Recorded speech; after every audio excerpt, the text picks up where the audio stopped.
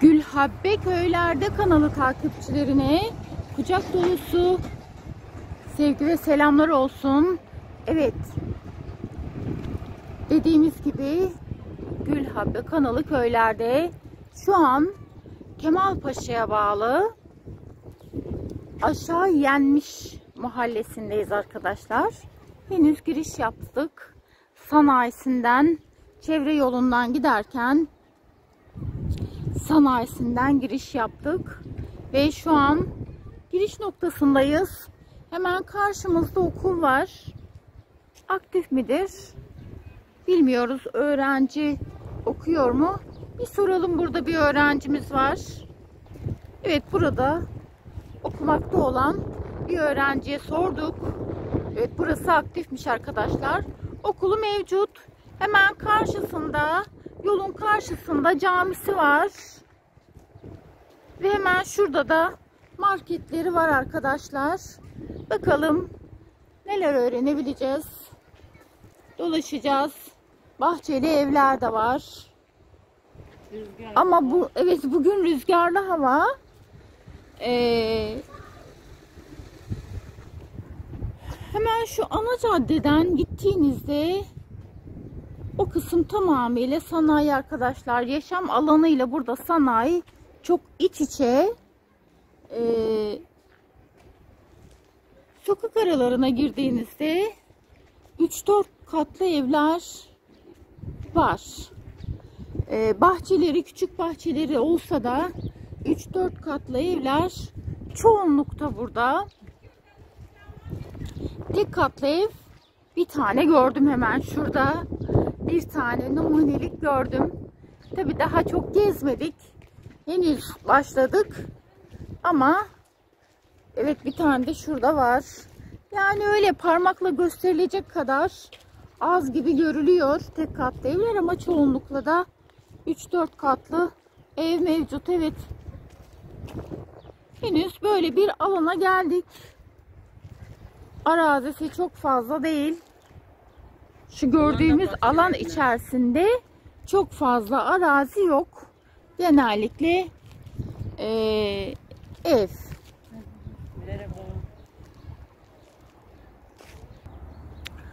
Evet sokaktan çıktık. Hemen okulun çapraz karşısındayız hala. Evet yolları oldukça geniş. Ve karşıda bir meyve bahçesi. Ama ne meyvesi bilmiyorum. Hemen karşıda bir meyve bahçesi var. Ve park var. Hemen yanımızda hanımlar oturmuş. Çekmeyeceğim. Belki izin vermezler. Soralım. Evet hanımlarla konuştuk. Bizi çekmeyin dediler. Ama bazı bilgiler aldık. Burası aşağı yenmiş diye geçiyor zaten. Aşağı yenmiş mahallesi. Ee, bir de yukarı yenmişler mahallesi. Yenmiş pardon. Yukarı yenmiş mahallesi var. Ee, burası sonradan kurulan bir yermiş. Asıl e, yenmiş mahallesi yukarı yenmiş denilen yermiş. Bakalım nasip. Orayı da çekeceğiz. Evet. Doğal yaşam alanında böyle ha, işte doğanın sesidir bu. Bunları görmek çok mümkün. Evet. Aynen aynen. Karşıda iş yerleri var. Sanayinin tam ortası arkadaşlar burası. Evet şimdi okulun hemen yan sokağına girdim. Evet şuralarda boş arazi çok. Okulun yanı, arkası oldukça boş araziler var. Ama nedir? Bilmiyoruz tabii ki. Buranın ana yolu, ara yolları çok geniş arkadaşlar. Çok ferah, çok rahat bir yer. Evet ben 2-3 katlı evleri pek sevmiyorum. Kendimiz de tek katlı evde yaşamıyoruz. Belki de onun etkisiyle bilmiyorum. tek katlı evleri ayrı bir seviyorum. Fakat buranın yolları o kadar geniş, o kadar ferah ki insan ayrıca bir huzur buluyor. Böyle bir alandayız şu an. Minik bahçeleri olan bir yer. Evet şurada hayvancılık yapılıyor. Sesi duymuşsunuzdur. Keçi sesleri.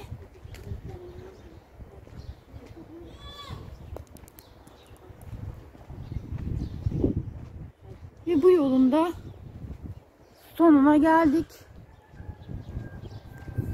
Karşısı boş. Arazi arkadaşlar. Daha fazla ileri gitmenin hiçbir anlamı yok. Merhabalar, kolay gelsin.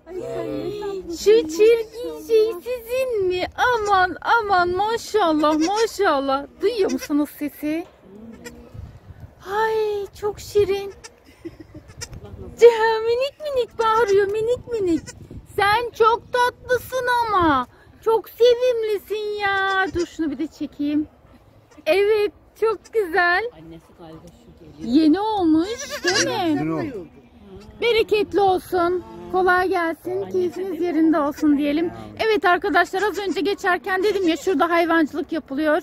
Evet burası. Kuzular var. Minicik. Keçiler. Hepsi çok güzeller. Evet diyorum ya doğa işte doğanın sesi, doğanın görüntüsü bu.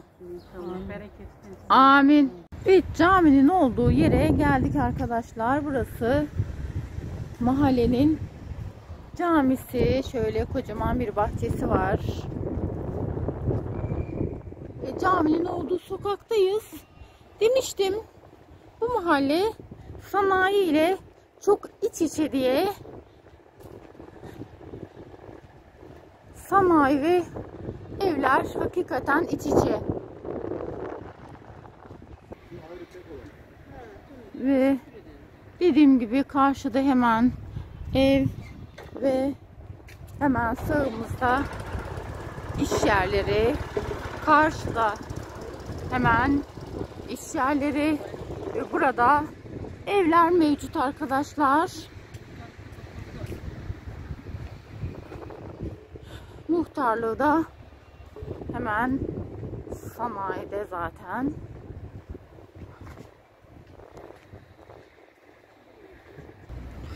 Evet burada da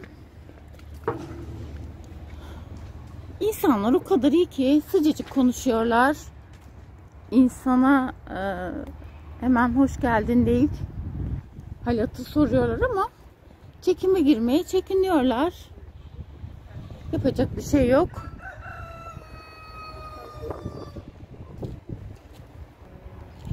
Evet arkadaşlar mahallemizin muhtarıyla karşı karşıyayız.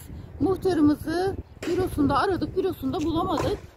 Ee, muhtarımız çok gönüllü, çok gönüllü olduğu için camiye e, hizmet veriyor. Şu an caminin bazı inşaat işlerinde çalışıyor.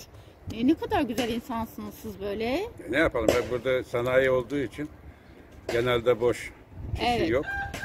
İş bize düşüyor iş. Biz de elimizden geldiği Helal kadar olsun. İsim nedir oluyoruz. muhtarım? Doğan, Doğan Kara. Ee, Doğan muhtarıma dedik ki mahalleyle ilgili bize bilgi verir misiniz? Memnuniyetle dedi.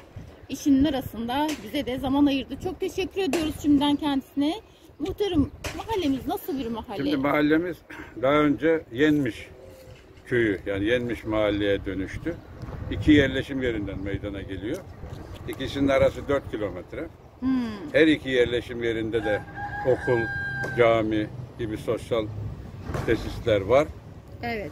Biz de bu mesafe uzak olması hem de nüfusun e, mahalle olmayı karşıladığı karşılaması nedeniyle ikisini ayrı mahalleye dönüştürdük. Bu Kaç Seçimden yer önce. buralar? bizim burası 700 nüfus oldu. Eski yerleşim yeri olan Yenmiş. Burası da aşağı Yenmiş. Ha, Adını aldı. Evet. Burada okulumuz, camimiz, muhtarlık binamız, sosyal şeylerimiz Daha var. önce her ikisine de siz mi baktınız? Ve Daha önce her ikisine de iki dönem ben muhtarlık yapmıştım. Bu üçüncü dönemim benim. Şimdi burada muhtarım. Şimdi Aşağı yukarıda yerleştiniz. muhtara ayrıldı. Evet. Bu dönem mi ayrıldı sadece? Evet bu dönem. Bu 2019 seçimlerinde burası ayrı bağımsız mahalle oldu. Oldu daha Aşağı yenmiş Evet. aldı. Aşağı yenmiş mahallesi. Çünkü İzmir Ankara asfaltına sınır olduğumuzdan, aşağıda olduğumuzdan diye yani. Yukarısı, yukarı yenmiş dağın yamacında ilk kuruluş köyü orası. Büyük kuruluş. Burası daha sonra Neden yukarıdan- yenmiş? Bir Yenmiş. özelliği var mı? yok öyle şey yok. Ha, bir hikayesi yok, Yok. isminin. Peki otobüs geliyor mu buraya?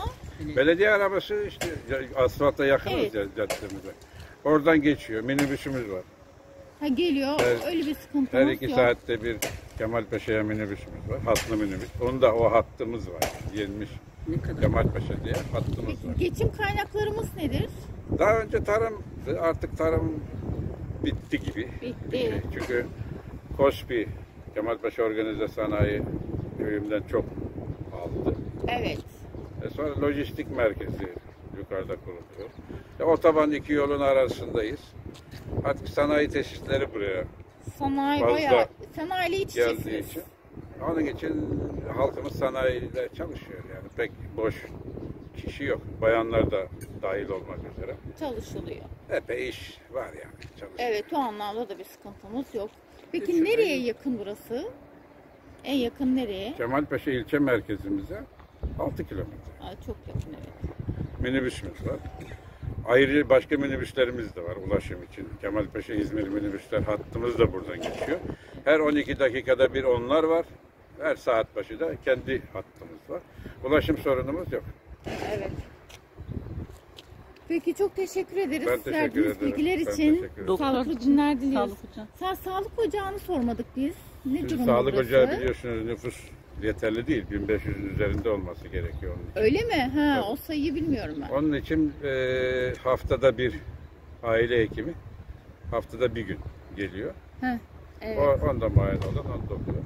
Acil durumlarda zaten ulaşım sıkıntısı olmadığı için Kemalpaşa'ya gidiliyor. Kemalpaşa'ya gidiliyor. Ama haftada bir defa da aile hekimi geliyor. Ha, ben o 1500 nüfusu bilmiyordum. Evet. Demek ki 1500 nüfus olmadan her gün gelmiyor öyle mi?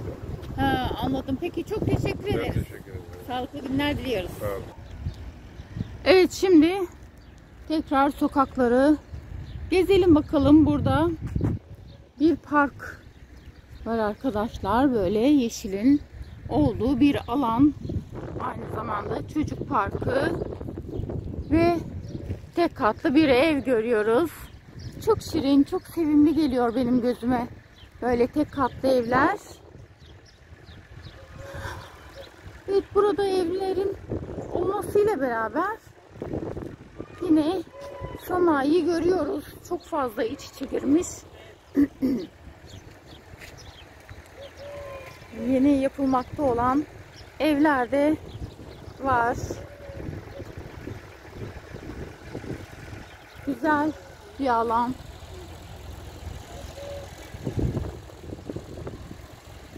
Çok çok geniş olmasından dolayı az önce de demiştim yolları çok geniş olmasından dolayı oldukça ferah.